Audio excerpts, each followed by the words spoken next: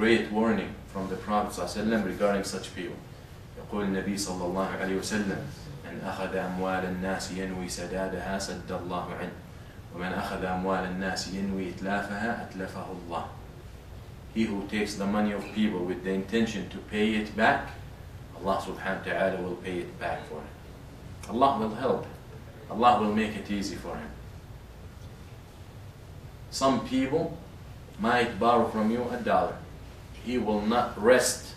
And you might even give, you might have given it to him and you did not want it. But he will not rest until he gives it back to you.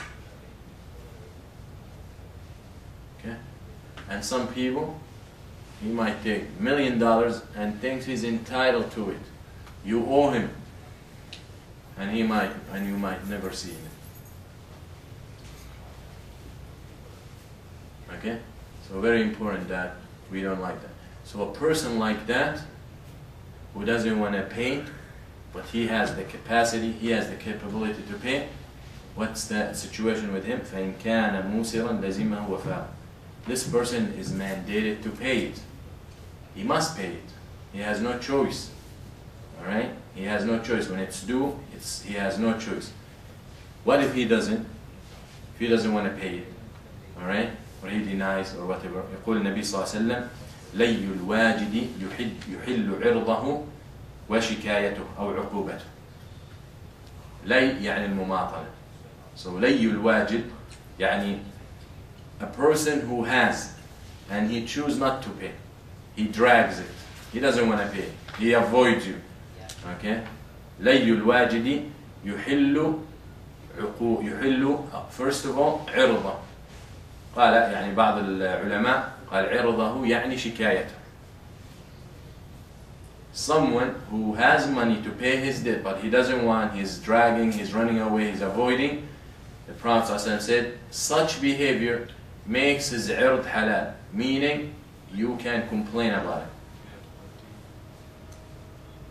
يحل عرضه وعقوبته عقوبته يعني حبسه So what happens to this person is you complain to him, you complain about him to hakim. Usually when you write, in, when you read in the books of fuqaha, the word hakim, you know hakim can be like the, the, the top person in a country or in a society, or whoever, the president, the king. But usually in the books of al-fiqh, al-hakim means al-qadi. Alright? Qadi. Qadi is the judge. Okay?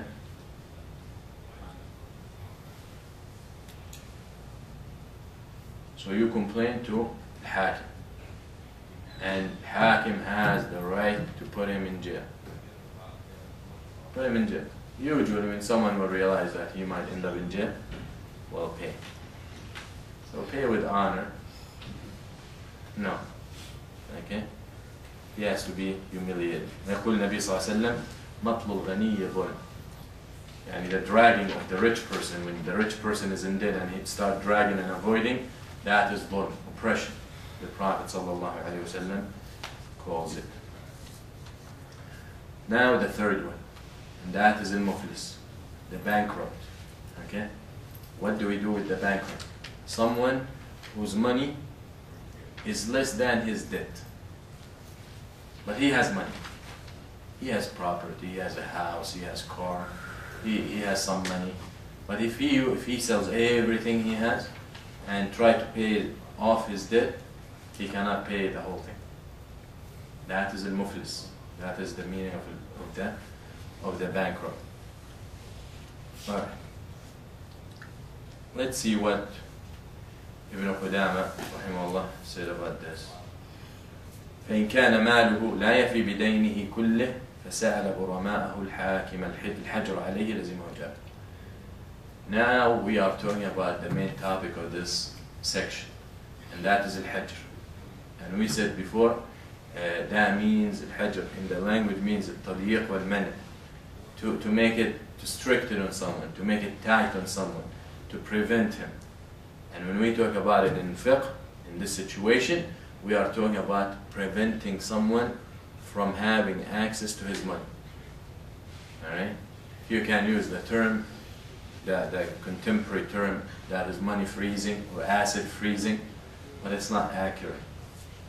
Alright?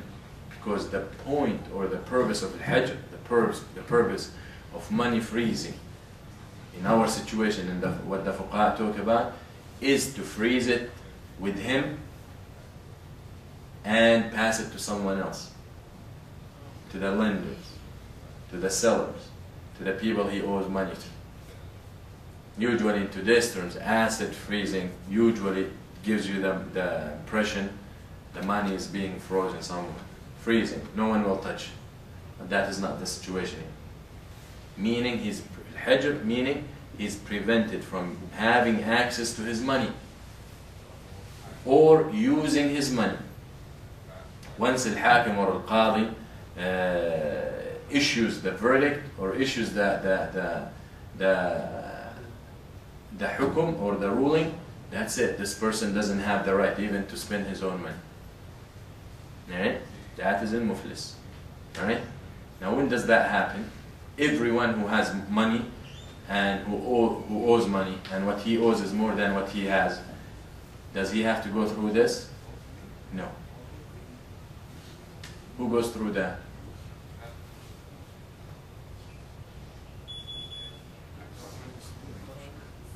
Who, who will go who will go through Hajr? Who will have to go under this? The one who has the money and he don't have money. one, they lost it. No, no. This person has less money than his debt. But does that automatically mean that he will have to go through this? That he will have to get his money frozen or his assets freezing? No. No. Who will? The one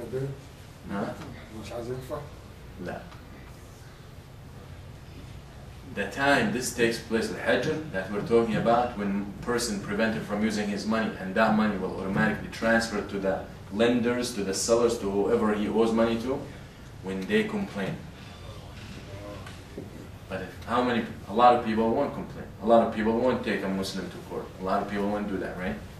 Okay? A lot of people will think it's not worth it. He might be even relative. He might be a friend. He might be buddy buddy, right? Not everyone. Once they complain, then it becomes mandatory on qadi, on the judge, to go along with the proceeding. He has to proceed. He has to proceed and freeze this person's money. Once they, even if it's only one. What does that mean? He maybe a lot of people. He owes a lot to money to a lot of people. Even if one of those ask for that, that public has to go through. Okay? Very important. and we mentioned last time about the Prophet ﷺ did that with the money of Mu'ad. Mu'ad ibn the Prophet ﷺ did that. He, Mu'ad had owed money, the Prophet ﷺ made hajr or freezing of his money so he can, and he paid off the lenders. So it is in the sunnah. And also in, in Muwatta Malik, uh, at the time of Khilafah of Umar, there was a man from Juhayna, tried, uh, he, every time he, this person, every time he will hear about a fast camel, fast horse, whatever it is, he will go buy it. Why? So he can get to Hajj before anyone else. every time he'll hear something like a, a fast running camel, he will go buy. Alright? 2009 camel or 1400 Hijri camel, whatever it is. Every time he hears that, he will rush to buy. So he got in debt. And those things are expensive. Okay? So when they when they complained to Umar bin Khattab about him, the Prophet ﷺ, uh, or Umar bin Khattab radiallahu took over his money. And he said, whoever uh, whoever wants money from this person or whoever this person owes money to, he should come to us so we will pay him from this person's money. Mm-hmm. Alright? Mm-hmm. So, so that's the dalil from the Sunnah with Mu'ad, the Prophet ﷺ with Mu'ad, and this is dalil from the Khilafah of Umar radiallahu anhu. Okay.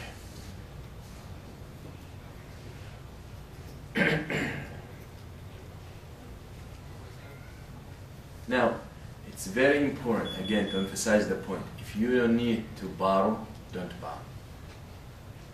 If you don't need to be in debt, don't be in debt. Even as we mentioned when we talked about the day,